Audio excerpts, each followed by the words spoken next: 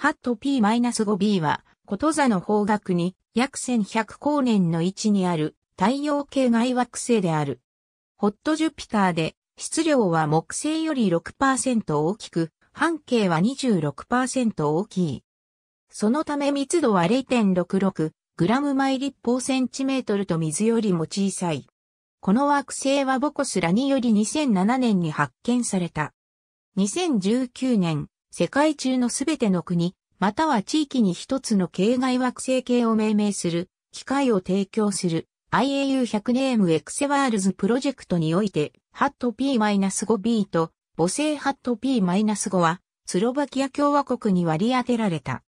このプロジェクトは国際天文学連合100周年事業の一環として計画されたイベントの一つで、スロバキア国内での先行、国際天文学連合への提案を経て、太陽系外惑星とその母星に固有名が承認されるものであった。2019年12月17日、IAU から最終結果が公表され、ハット P-5B は、クララマック、ハット P-5 は、チャソンと命名された。クララマックは古いスロバキア語で木星を指す言葉。チャソンは古いスロバキア語で太陽を指す言葉である。ウィキメディアコモンズには、ハット P-5B に関するカテゴリがあります。ありがとうございます。